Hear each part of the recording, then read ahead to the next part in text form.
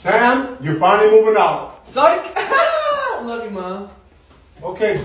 Hey, don't come back anytime soon. Get out. Oh, yeah! I get to take his room, baby. I can see my weights over there, my treadmill over here. Pops, Pops, I should get the room I share with Kais. It's time I get my own room. Uh, this is my makeup room. Linda, are you serious? It's gonna be my room. I called this since day one. Guys, I have the guy tomorrow to come custom made my closet in here. Closet? Yeah,